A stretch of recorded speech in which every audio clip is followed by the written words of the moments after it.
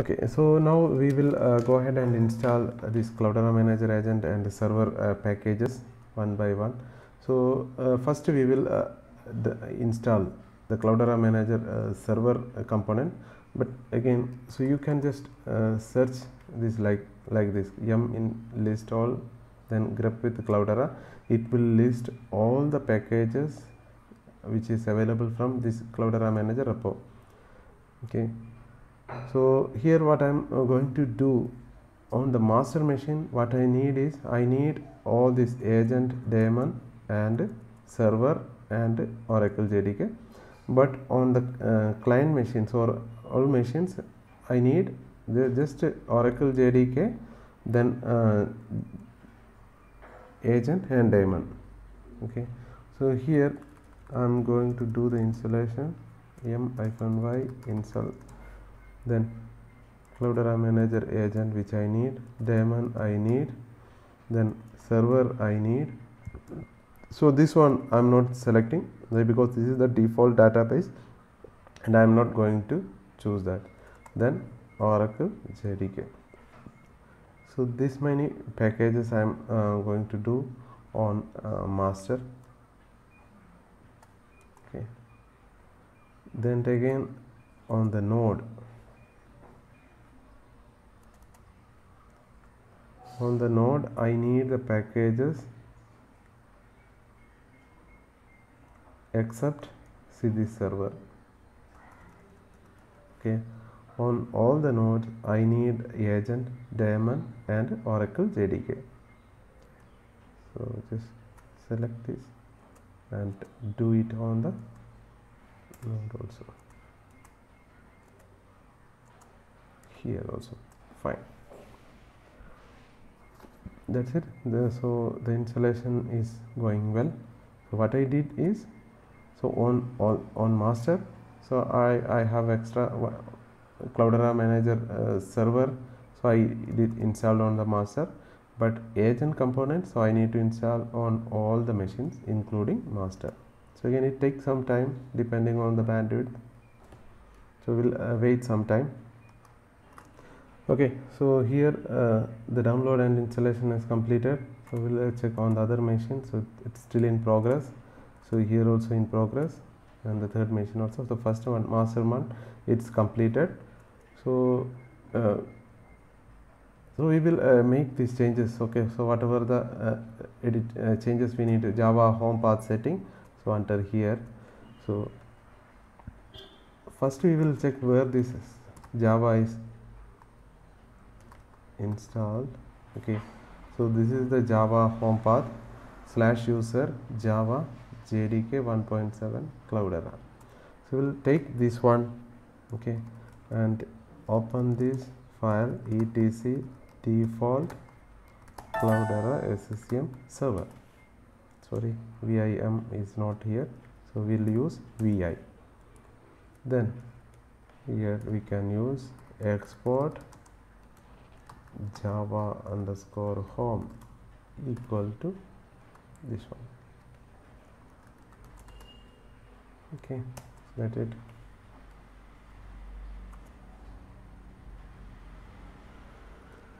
Okay so next uh, here I'yum using a custom uh, database. So I need to install uh, MySQL m hyphen install MySQL hyphen server then uh, this connector jar also is needed. This one also along with this. Okay.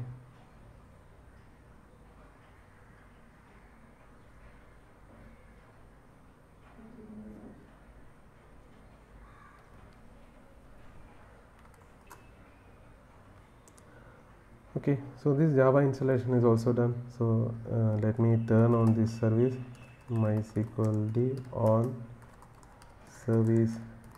So mysql d status let me check it stopped. So let me start that. Start. Okay. So initially the mysql will be with uh, no password. So you can set the password or you can uh, customize that using this script okay so by default if you just do mysql hyphen u root you would be able to connect even without asking any credential. So i'm just setting the root password because i need to secure my uh, mysql. Otherwise so everyone would be everyone who get root access would be able to uh, log into this mysql. So current password is null so enter then set the password yes. What is the password? So you can choose the password which you want to set it for here remove anonymous? Yes i don't want anonymous. Disallow uh, root no. So remove yes. So reload yes.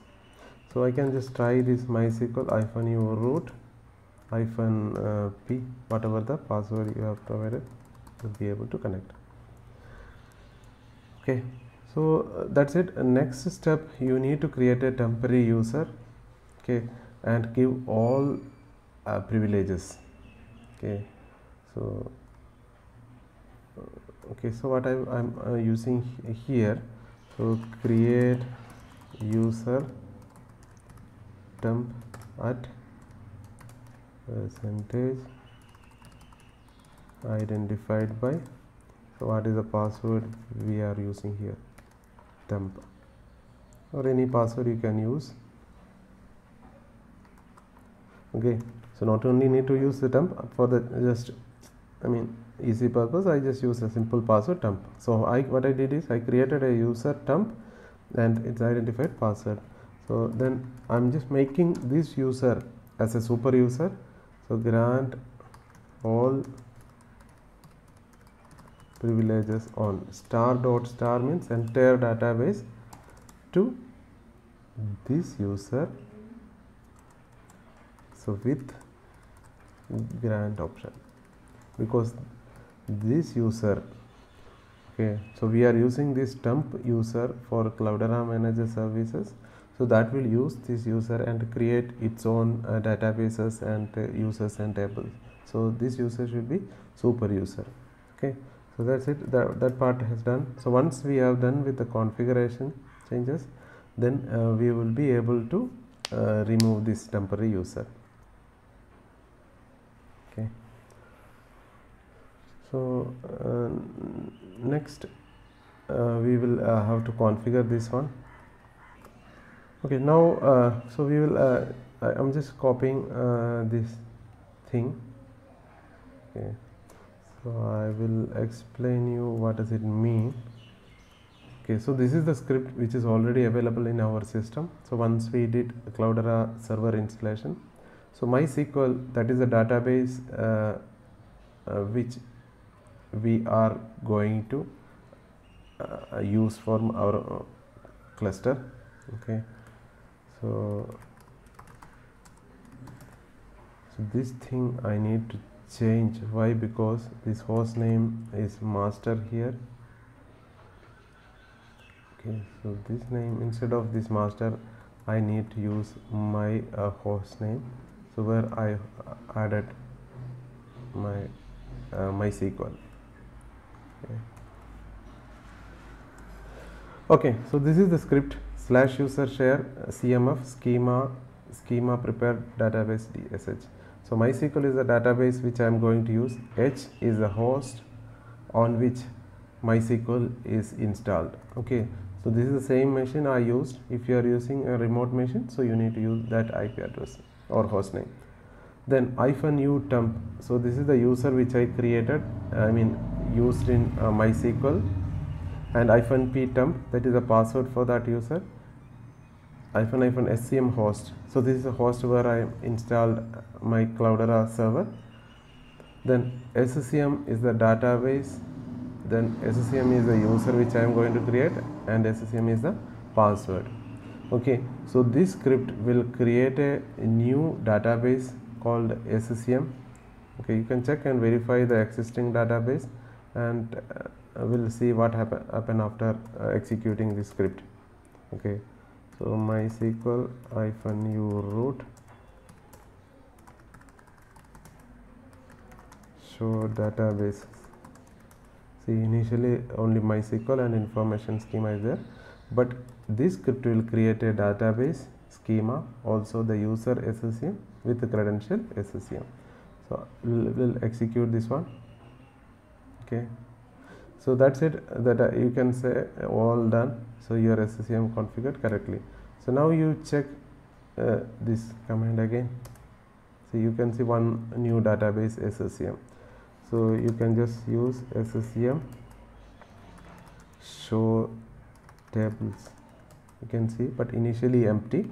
So once your cloudera server starts so it will uh, there will be a lot of tables created under this database. We will keep uh, monitor this database uh, for that change.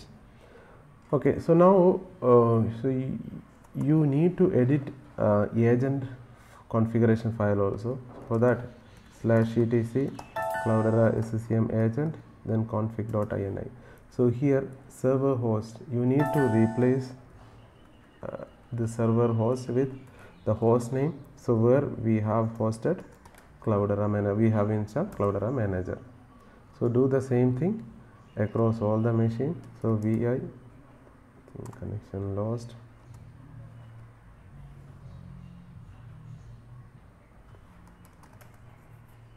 So vi slash etc cloudera agent config.ini so here instead of localhost so you can use uh, the cloudera manager to do this job but if you do this so no need to do the passwordless ssh between master and node uh, nothing is needed.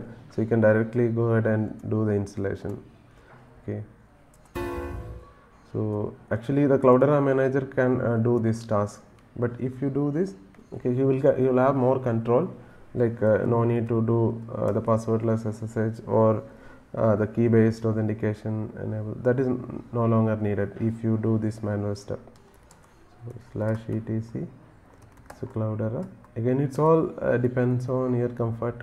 So if you are okay with i mean the cloudera uh, based you can do. Again if you have multiple uh, servers so it's bit difficult to do each and everything also you can use the puppet or any other uh, configuration management to do the automation of this work. Okay. So just uh, restart the session. Root vi slash etc uh, cloudera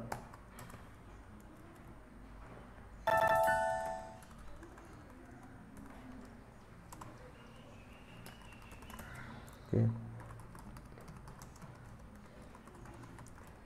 NSCM hyphen agent. Okay so let me start this and also turn on the service. Okay so I have to do this uh, on across all the machines.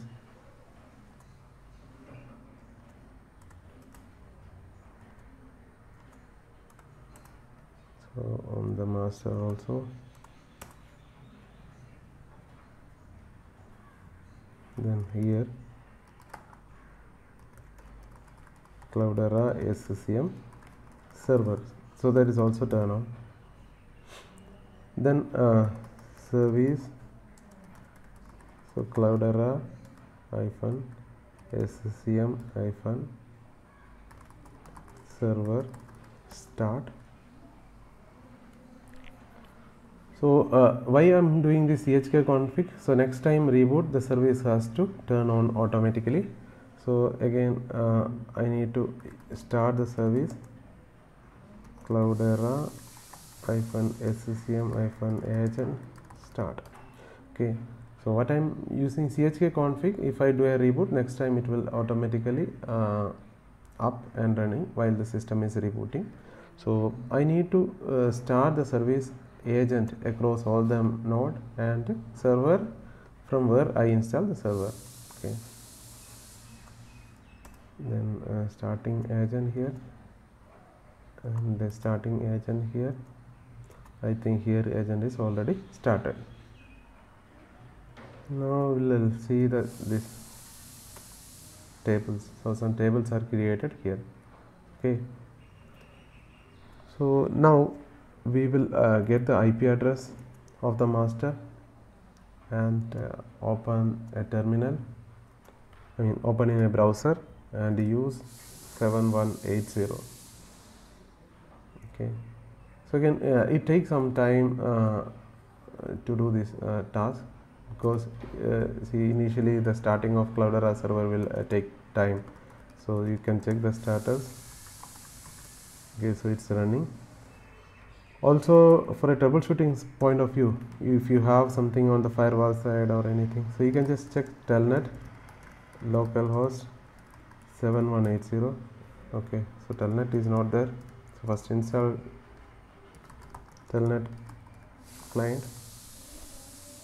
Okay so we'll check. Yes so it's uh, trying to connect that means uh, we are able to connect it so definitely in the browser you would be able to log in.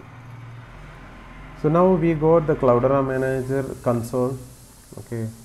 So the remaining installation so we can uh, do with this cloudera manager uh, tool okay so which is very easy. You can uh, do that installation using cloudera manager. So here i covered till the cloudera manager installation okay. And that is i use a completely manual uh, method. And also i um, I install Cloudera Manager agent on all the machines. So again the agent installation is optional here. So you can use the Cloudera Manager utility or web-based utility to do that agent installation on the all the nodes. But I did install or agent on all the machine and I changed this configuration configuration file and pointed to uh, Cloudera Manager server. So that's it. I completed uh, this Cloudera Manager uh, installation. This is the one part. Next, we will uh, do the installation with this Cloudera Manager tool. So that I will be covering in my next video. So thanks for watching. So please subscribe to this channel. Bye.